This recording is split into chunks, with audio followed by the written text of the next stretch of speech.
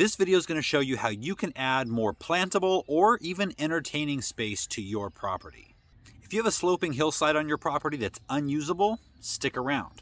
If you just want to raise planter bed uh, against the back wall in your backyard, or you want to create raised vegetable beds that don't rot and have to be replaced every few years, this video is for you.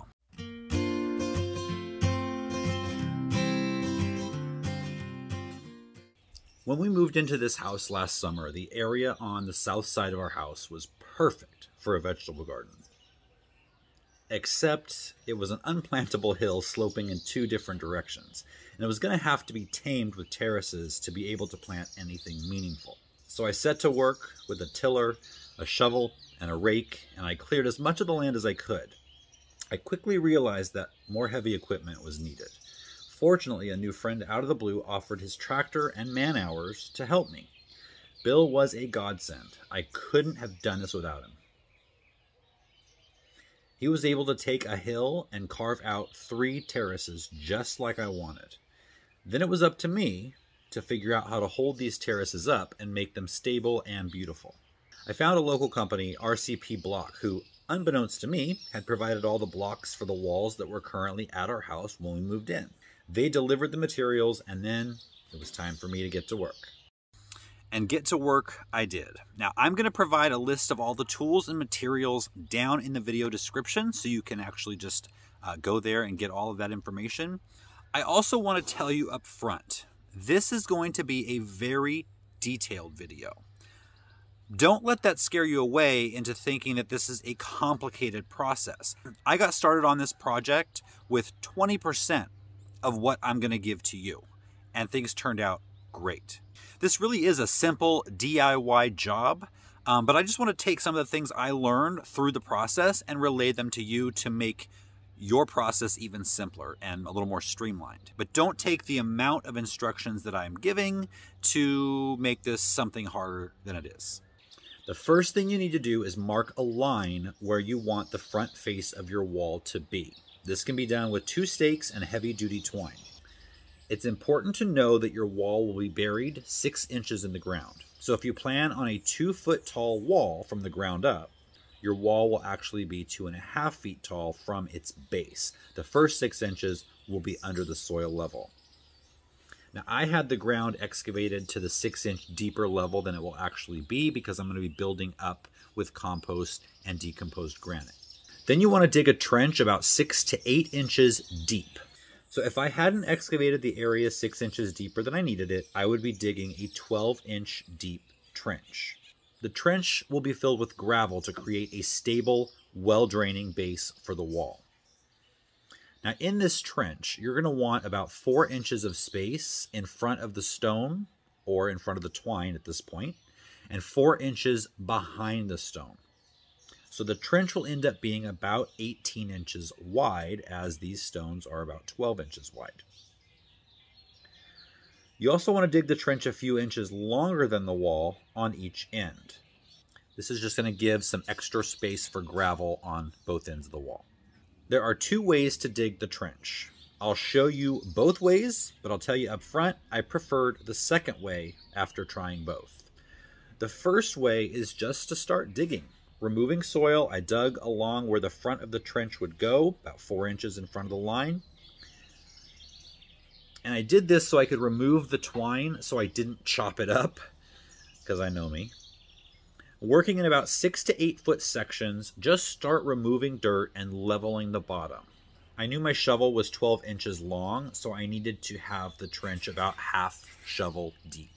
Once I got it that deep and that long, I would rake it smooth and tamp it down with my feet, and then use a six foot level to make sure the section was level, adding or removing dirt as needed. If you don't have a six foot level, you can use a shorter level on a six foot two by four.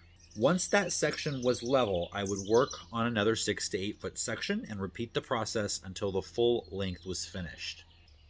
Okay, the second way is to start by digging a hole the width and depth it should be and about the same length as the width, basically a square. Once you feel you're at the right depth, tamp the bottom down and measure to make sure. Add or remove soil to make it the right depth and always make sure the bottom is tamped down. Now, working with that square as your guide, move along the length of the string, taking out one section at a time to the proper width and depth. When you hit the six feet mark, start with the level and continue all the way to the end. Something about this work was very satisfying. Just seeing where the wall was going to be, it was the first bit of real order to this untamed space. Now, whichever method you use, once the trench is done and leveled, it's time to add the gravel. You can use a regular wheelbarrow, or if you can find a power wheelbarrow, it will make the work easier. Now, I had an amazing viewer loan me this one. Thanks, Russ. I'm filling the 6 inch deep trench to the top with the gravel. And if you're digging a 12 inch deep trench, then fill it up 6 inches. The other 6 inches will be your first course of brick or stone. I might add at this point that the gravel was from RCP as well. Make sure you get the correct gravel by getting it from your stone company or asking them what the correct gravel size should be. Use a rake and your six foot level to make sure the entire length of the trench is level. Do the little tamping dance down the length of the trench back and forth to make sure the gravel is settled in. Then level again. In case you haven't figured it out, the level is now your new best friend. Once the trench is filled and level, it's time to build your first course or run of stone. This will be a two foot tall wall, and each stone or course is six inches tall. So, including the first course, that will be underground, I'll be putting in five courses. All right, to simplify things, basically what we've done so far is we have dug a trench, leveled it, we've filled it with gravel, and leveled the gravel. That's it. Now it's time to lay the first stone. And I just want to tell you, this stone is rough, really rough. So you definitely want to get some leather gloves. I went through three pairs during this project. If you took out your twine to keep from chopping it, it needs to go back in. This is your guide for the front of your wall. Line the first stone up with the twine, but it shouldn't touch the twine, just as close as it can be without touching. If it touches it, it could move the twine just enough to mess up the straightness of the wall, especially after repeated bricks touching it. The twine is your guide for the length of the wall. The level is your guide for, well, the levelness of the wall. When you set the stone in place, use a shorter level to level the front to back and side to side. Sometimes just applying downward pressure and a rocking motion is all that's needed. Once that first stone is level, go grab the next one. What's great about the Keystone product from RCP is that it comes already assorted if you look at this wall, it looks like there are multiple size stones in different colors. Technically, there are three colors and three sizes of stone, but each stone has a straight edge and an angled edge. What that does is helps the pieces lock together, but it also creates the look of multiple size stones. There's really only three size stones, but the front and back of each stone is a different length. So right here, it looks like six sizes of stone. And again, they come pre-assorted on the pallet, so you don't even have to worry about it. You just take them off and put them out. And I really love the natural look this gives to the wall. I want to take 20 seconds right here and thank RCP Block and Brick for sponsoring this project and for giving you guys a discount. RCP carries a full line of Keystone products to fit every style you might want to create. If you are in or near San Diego County, they have six locations where you can look at all types of stone and get advice for your project. RCP was kind enough to offer a huge discount on any product they carry other than artificial turf. Next level viewers can get 10% off your product for your project. That is big. If you're not in the area, you can go online and look for your local Keystone dealer. And there is no perfect way to uh, assemble the wall or line up the stones. I tried to go large, medium, small, large, medium, small for the base.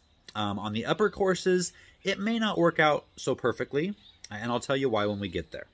Right now, we're just worried about the first course. When you bring the next stone over, you want to make sure that it is level front to back and side to side, but also level with the previous stone you laid. I told you the level would be your new best friend. I'm going to give you some good news and bad news. Bad news first. The first course of stone is tedious because you have to level each stone and then level it in relationship to the stone next to it. It takes a lot of time. The first course of the wall took me several hours. However, the good news is that is a level base.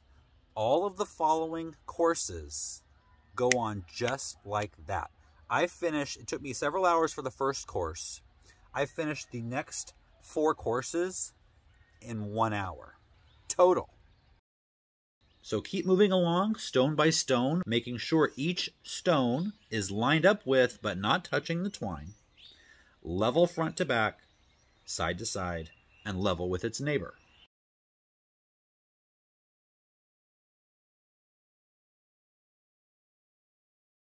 If one side of the stone is too high, lift it up, move some stone, some gravel out of the way, lay it back down. If one side is too low, a small garden trowel worked well to jam more gravel underneath it slowly without raising the level too quick. A rubber mallet worked as well to smack down a side that is slightly higher than you need. So keep at it, making it as perfect as you can, knowing that once the first course is done, your whole wall is three quarters finished, and the rest is easy. Once that first course is finished, you're going to do three things before moving on to the second course. First, you're going to stand back and look at what an amazing job you just did, and probably, if you're like me, stand there and wonder, wow, I did that, and look how perfectly level it looks. The second thing you're going to do is fill all of the large holes in these stones with gravel just to right below the top of the hole. This is going to further stabilize the wall and help lock the stones together. The next thing you're going to do is put in these yellow pins. These pins help to line up the next course with the course below it. They help lock it into place and keep the stones from moving back and forth or front to back. So this part goes into the stone below it and the top part of it fits into the, the stone above it. There's a little groove on the bottom that this fits into. Go right down the line, putting them into the center small holes. It's important to know that as you're working your way down the second course, you'll probably end up removing some of these pins because they're not all going to line up perfectly. Now you're ready for the next course of stone. Start by lining up the edge of the first stone with the one below it. Then keep going right across. The only rule here is you don't want to have the space between the brick line up with the space between the two bricks below it. Not only does this make the wall less stable if you do this too much, but it just doesn't look good to the eye. Now, there were a few times where I just couldn't help it. So don't stress if every once in a while it happens, but avoid it if you can. This can sometimes mean you need to remove the last couple of stones that you laid and stagger the sizes a little differently. Once you reach the end of the second course, put the gravel in the large holes, put the pins in, and you're off to the next course. Keep going until you've reached the desired wall height. At that point, fill the large holes with gravel, but you won't be putting the pins in. Now it's time to put on the capstones. These are applied with a masonry adhesive. This stuff is super strong and doesn't take much. Make sure to line up the back of the capstones with the back of the wall. The front of the capstone will overhang the front of the wall just a bit. That's it. Stand back and admire your wall. I know at this point you're going to think to yourself, that was simpler than I ever thought it would be. But you're not quite done yet. At this point, you've just got a wall standing out in the middle of nothing. We need to backfill. But it's not just as simple as filling in dirt along the backside of the wall. We still need a four inch gap between the soil and the wall, and that's gonna be filled in with gravel. Does two things. Keeps the drainage next to the wall good, drains it right down into the gravel that's underneath the wall, and out one end. It also filters the mud from the, the soil behind it. When you water it, you don't want that mud running out the front of your wall. And so that gravel will act as a filter for that. But how do we get a four inch run of gravel against the dirt or between the dirt and the wall? A couple of two by fours or four by fours. Four by fours are a little more stable. Just set them up like that. Get a scrap piece of plywood that's roughly the same height as the wall.